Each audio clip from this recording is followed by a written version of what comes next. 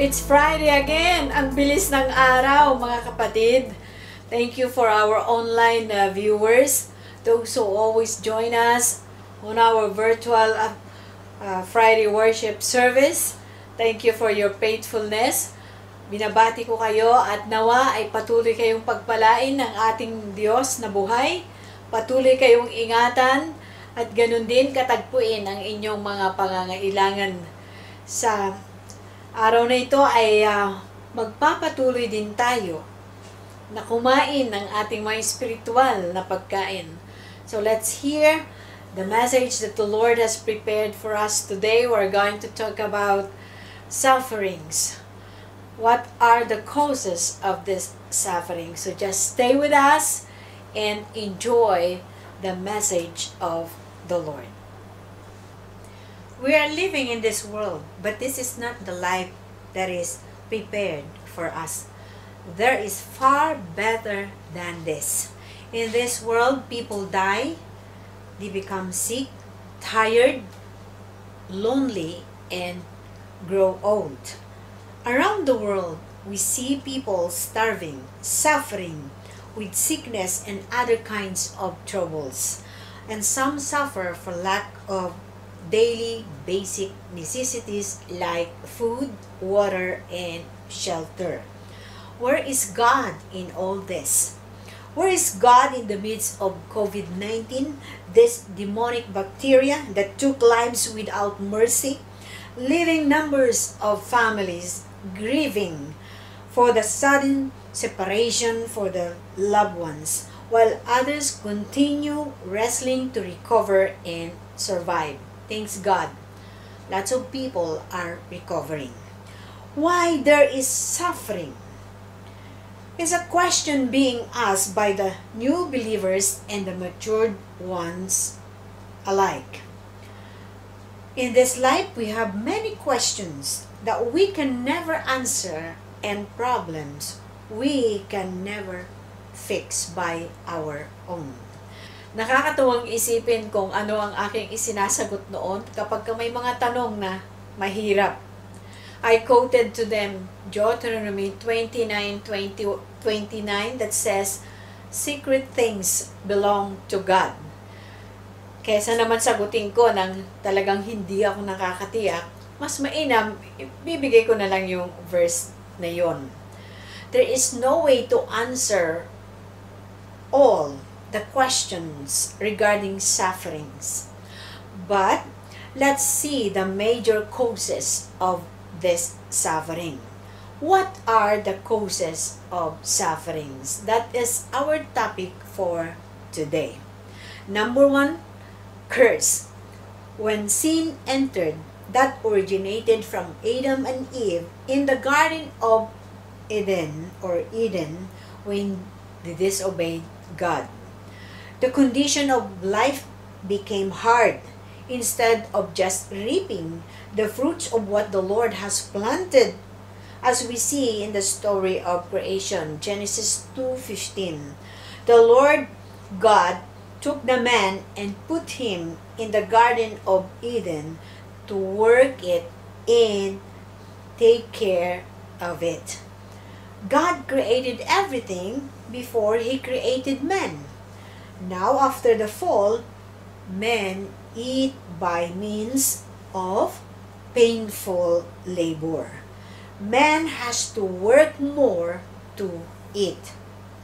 God's original purpose for man is to live an abundant life.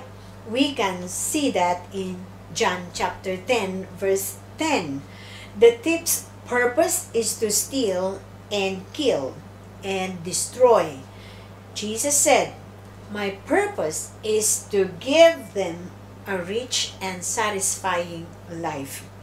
Because of the curse, the whole creation groans. We know that the whole creation has been groaning as in the pains of childbirth right up to the present time.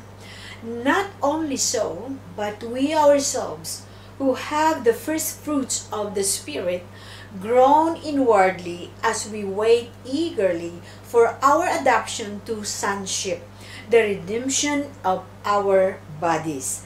This will happen when we shall be with the Lord. Number two cause of suffering, cult. This is what we call false religion also. They believe in another Jesuses, but it is not the Jesus of the Bible. Who is Jesus Christ in the Bible? Actually, Apostle Paul kept a warning to the Galatians believers. I am astonished that you are so quickly deserting the one who called you to live in the grace of Christ and are turning to a different gospel, which is really no gospel at all. Evidently, some people are throwing you into confusion and are trying to pervert the gospel of Christ. But even if we or an angel from heaven should preach a gospel other than the one we preach to you, let them be under God's curse. The world says all religions direct you to God.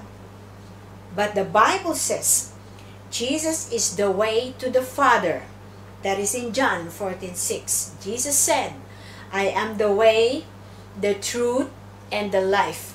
No one comes to the Father except through me. And also in Acts chapter 4, verse 12, salvation is found in no one else, for there is no other name under heaven given to mankind by which we must be saved. And again, cults say he is an angel. They said that Jesus is an angel. But the Bible say he is the Son of God. And others say he cannot save.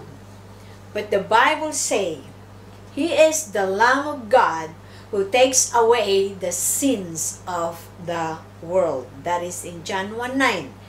And John 3.16, again, our memory verse, favorite memory verse. For God's love the world that He gave his only begotten Son, that whosoever believes in him should not perish but have everlasting life. Whoever believes in the Son has eternal life. Whoever does not obey the Son shall not see life, but the wrath of God remains on him. That is in John 3.36. Now let's go to number 3 cause of sufferings. Man failed to do their job with excellence. Let's look the story of the unfruitful fig tree. I call this negligence. Luke 13, 6 to 9. Then he used this illustration. A man planted a fig tree in his garden and came again and again to see if he could find any fruit on it. But he was always disappointed. Why? Finally, he told his gardener to cut it down. I've waited three years and there hasn't been a single fig. He said, Why bother with it any longer?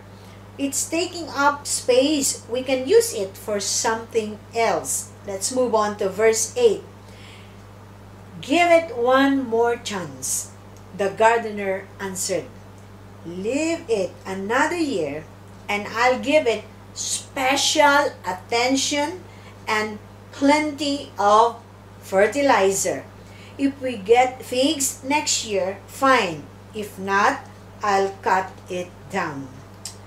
Marami ang namatay sa COVID-19 dahil na rin sa kapabayaan ng mga taong may kapangyarihan sanang umapula nito. Marami tayong narinig tungkol dyan. Are you doing your part to the task that is entrusted to you? Baka isa tayo sa nagiging dahilan na nadadagdagan ang hirap sa mundo. Huwag nating sisihin ang Diyos at sabihin siya ang may kagagawan ng mga paghihirap na ito dahil wala sa kanya ang problema. He is God. His ways are perfect and just. The rock, His work is perfect, for all His ways are justice. A God of faithfulness and without iniquity. Just and right is He. He is almighty, all powerful, yet He is merciful. He is God, sovereign, yet He can help us. And He is able to do that. Psalms 18:30 God's way is perfect. All the Lord's promises prove true. He is a shield for all who look to Him for protection. And those who trust in Him shall never be put to shame.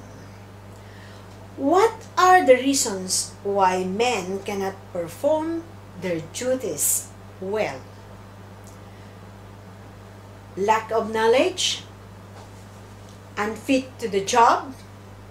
We all agree that we need a right person for a right job and a right place for a right time to have the best result. What are the things that motivate you to do your job? Is it salary increase, promotion, faithfulness, accountability, or napilitan ka lang because nobody wants to take that job or nobody wants to do it? As believers in Christ, we should know who is working with us and for us. Philippians chapter 2 verse 13 For it is God who is working in you both to will and to work according to his good pleasure. So whatever you do or say, do it as a representative of the Lord Jesus. We should do our best. Let's put our heart in everything we do. Wala yung trial lang, kundi bawat pagkakataon na may bigay sa atin, samantalahin na natin. Gawin na natin yung tama at mainam. Either that is a responsibility, duties, and obligation, may bayad o wala. We had to do it with our heart. Love your work and praise the Lord. Another reason for a poor performance is we miss the mark. This is negligence part 2. Distracted to many things which are not the right priorities. Minsan may mga bagay tayong pilit na tinatapos. Only to find out later na hindi naman pala kailangang tapusin agad or madaliin. May mga bagay naman na dapat nang unahin pero nagiging huli. This one also is a cause of suffering. And another reason is not serious. We are accountable to our Creator for whatever entrusted to us. For nothing happens by chance or accident. For every effect, there is a cause. Either you are the one who decide for that thing or you've entrusted to God for Him to do it for you. Proverbs 16:9 reminds us, "The mind of man plans his way, but the Lord directs his steps." If we neglect the Lord's guidance, the outcome is not fulfilling or not satisfying. Woe to them, for they have strayed from me. Destruction to them, for they have rebelled against me. I would redeem them, but they speak lies against me. Hosea 7:13. Let's see this illustration. Some causes of car accidents are a drunk driver, speeding, engine malfunction, and distractions like talking on cell phones, messaging, eating, and talking to passengers, adjusting audio controls. Kaya, don't talk to the driver. Let the driver talk to the passenger so the passenger will not sleep. Isa pang pagpapahirap sa tao ay ang kawalan ng pananampalataya sa Diyos. Psalms 14.1 Only a fool would say, There is no God. People like that are worthless. They are heartless and cruel and never do right. Romans 1.18 For the wrath of God is revealed from heaven against all ungodliness and unrighteousness of men, who by their unrighteousness suppress the truth. Why is it that the wrath of God is revealed against ungodliness? Romans 1 19 25. Here is the answer. Because what may be known of God is manifest in them, for God has shown it to them. For since the creation of the world, his invisible attributes are clearly seen, being understood by the things that are made, even his eternal power and Godhead, so that they are without excuse, because although they knew God, they did not glorify him as God, nor were thankful, but became futile in their thoughts, and their foolish hearts were darkened. Professing to be wise, they became fools and changed the glory of the incorruptible God into an image made like corruptible men, and birds, and four-footed animals, and creeping things. Therefore God also gave them up to uncleanness in the lust of their hearts to dishonor their bodies among themselves, who exchanged the truth of God for the lie and worship and serve the Creator rather than the Creator who is blessed forever. Amen. Hebrews 11:6 Without faith, it is impossible to please God.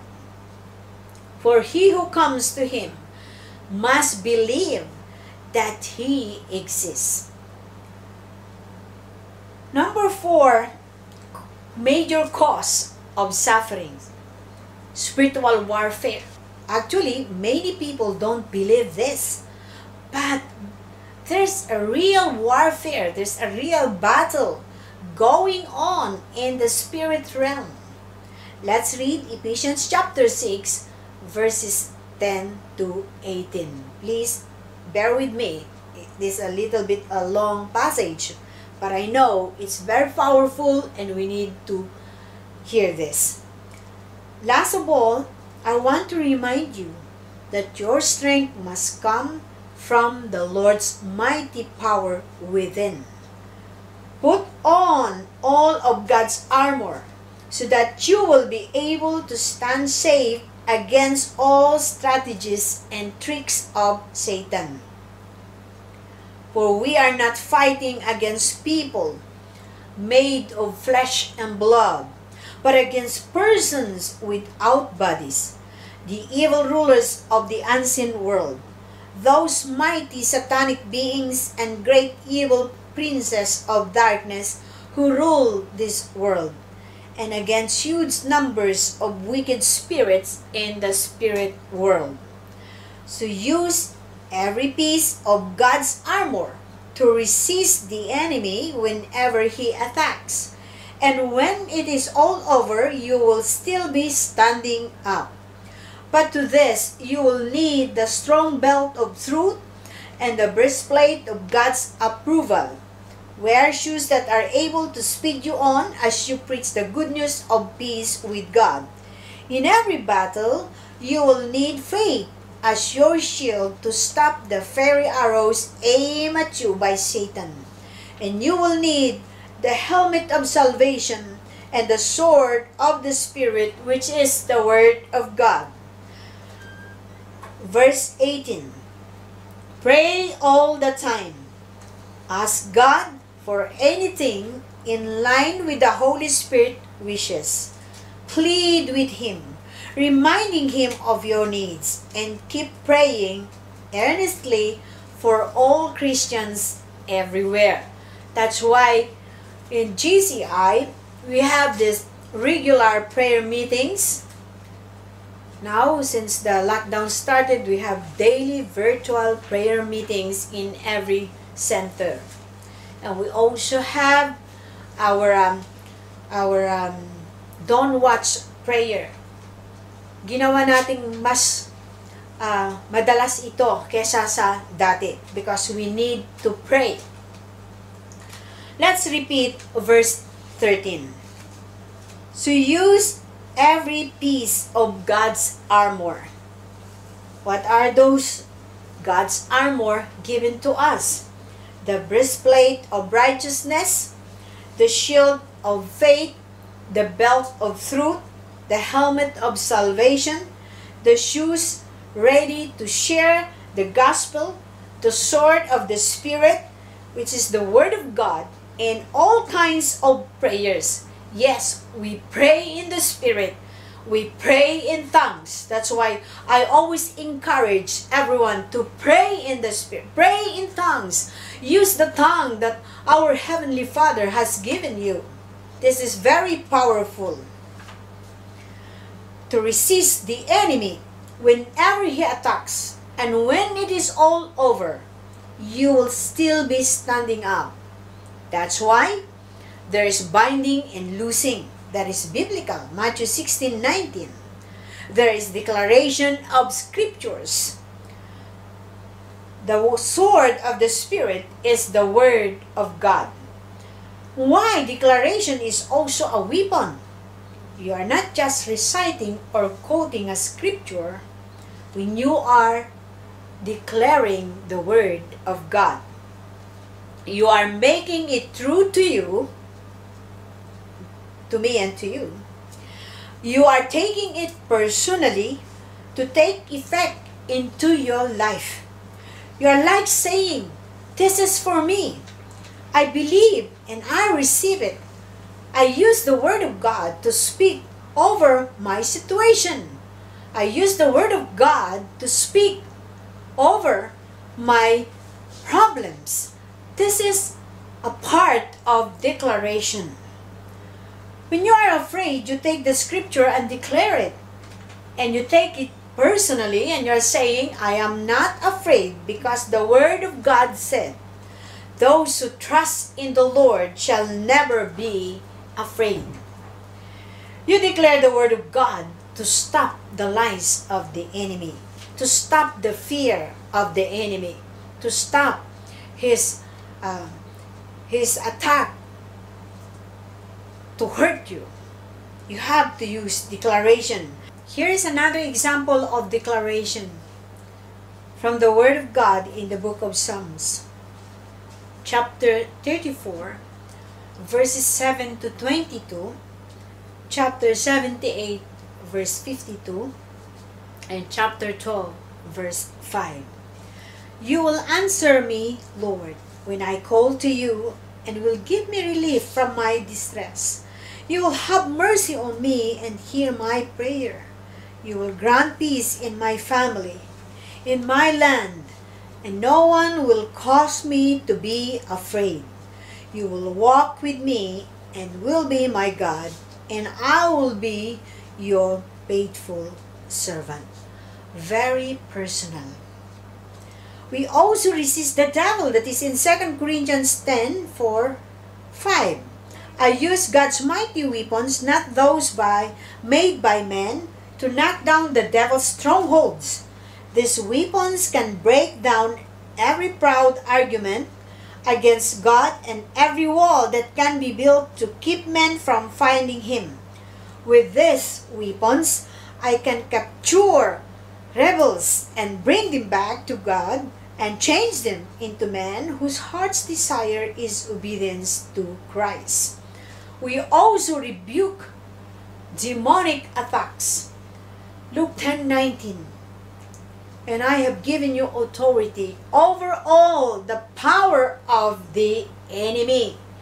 Jesus said over all the power, not not some of the power of the enemy, and to walk among serpents and scorpions, and to crush them, nothing shall injure you.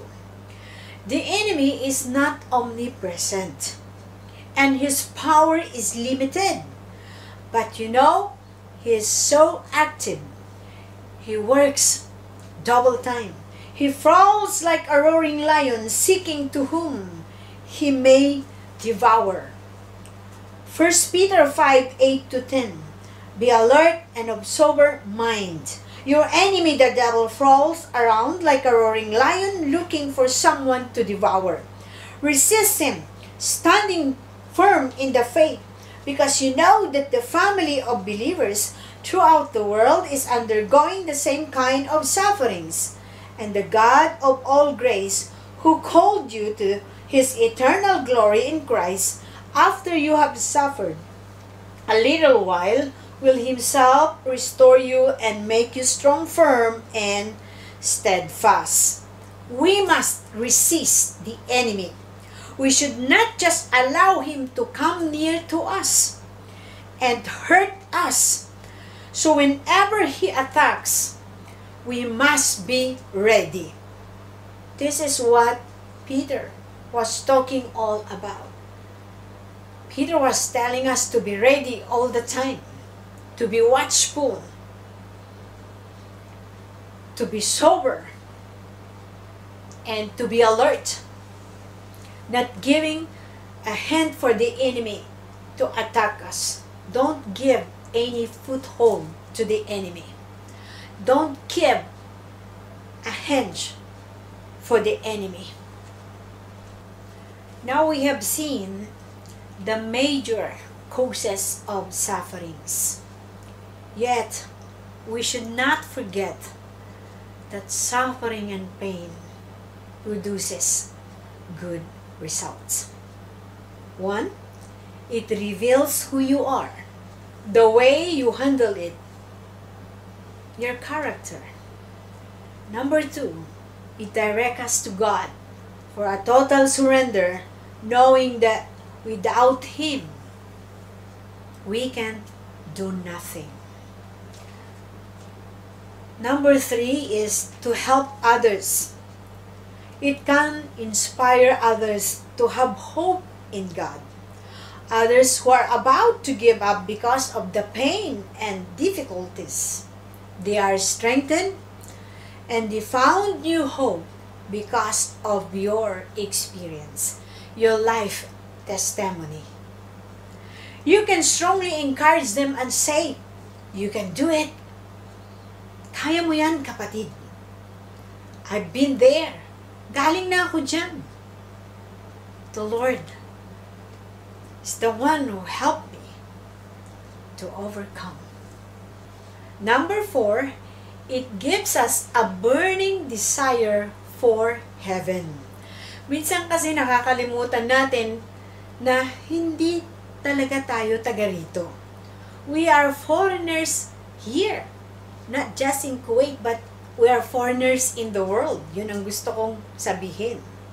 For our citizenship is in heaven, and we eagerly await a Savior from there, the Lord Jesus Christ. Philippians chapter 3 verse 20. And the Apostle Paul gave us this additional advice. Set your mind on things above. Let's look this advice in Colossians chapter 3 verses 1 to 4. If then you were raised with Christ, seek those things which are above, where Christ is, sitting at the right hand of God. Set your mind on things above, not on things on the earth. For you died, and your life is hidden with Christ in God. When Christ, who is our life, appears, then you also will appear with him in glory. And additional promise after all the sufferings that we've been through. Romans chapter 8 verse 18. I consider that our present sufferings are not worth comparing with the glory that will be revealed in us. Try to think of all the sufferings, the pain that you've been through, and the suffering that you are going through this time. They are not worth comparing. Di maitutumbas with the glory that will be revealed in us. He will wipe away our tears. Our sorrows He turn into celebration. Pati katawang sa pilitang tumanda na dahil sa kahirapan ay magiging parang batang bata. There's joy forevermore. There is peace forevermore. Think about heaven. A place of no more sorrow. A place of no more dying. A place of no more sickness. A place of no more sufferings. A life in Christ is not yet 100% trouble free and suffering free. But if you compare your days of blessing to your days of pain, you will be amazed of how good God was to you all through the years. Start counting your blessings and compare them with your sufferings. Let's try to do this. Sleeping time, how many hours? Eating time, how many hours? Working time, how many hours? Worshipping time, how many minutes? Leisure time, how many hours? Suffering time, including having a flu, cough, fever, allergies, sickness, surgeries, accidents. Now let's see this. How old are you now? Are you in late 20s, 30s, 40s, 50s? Never mind the age. We don't want to talk about if we are on that level. Have you taken the calculation total a ratio? Which is longer? Years of sufferings or years of blessings? Mas marami pa rin tayong naranasang ginhawa kaysa hirap, di ba? Mas marami pa rin tayong natanggap na pagpapala kaysa sa pagpapalo. Kahit napakarami nating kakulangan sa Panginoon. At mas marami pa rin araw na tayo ay masaya kaysa sa mga araw na tayo ay kailangang malungkot. Mas marami pa rin panahon ang iginugol natin na mapayapa kaysa nalilito. My brethren who do not understand Tagalog, I was comparing the years of sufferings and the years of blessing in a man's life, especially to us as believers. And we found out that the years of blessings outweigh or outweigh the years of pain. There's years of blessings are more than the years of our sufferings. Here on earth, God never promised a heart or a life full of singing. To be Mr. Friendship and Miss Friendship everywhere. This is not yet possible this time. But he promised that who, those who trust him shall never be put to shame. Those who trust in him will be blessed. Those who believe in him will find the answer to their prayers. The Lord our God is our glory and the lifter of our heads. As he said, those who call upon the name of the Lord shall be saved. Whatever the situation that you are in right now, suffering, still in trouble, continue to call upon the name of the Lord. Because he promised, Call unto me in the day of trouble, and I will deliver you. He who promised is faithful. He will do it for you. Let us pray. Thank you, Father, for being with us because we know that even in the midst of our sufferings and pain, you are there with us. Jesus, you died so that we'll be set free from the curse of sin and death. We'll be set free from all this pain and troubles. And Lord, while we are waiting for that day when we will be totally set free, we have the promise that while going through these troubles and pain, you are with us. And we know that every time when we call upon your name, we'll find refuge. We'll find rest, O God. We will find answer to our needs. That's why you've given us also these spiritual weapons so that we can stand and fight the good fight of faith. Thank you, Lord, that in this time of suffering, as we wait for the total victory, we'll find rest in your presence. And we thank you that because of you, we can do all things. We can make it, Lord, until the end. Thank you, Father, for the answer of our prayers. Now we know that in trouble or in pain or in blessings, you are with us. I give you all the glory and the praises. In Jesus' mighty name I pray. Amen. God bless you. May this message be a great blessing to you.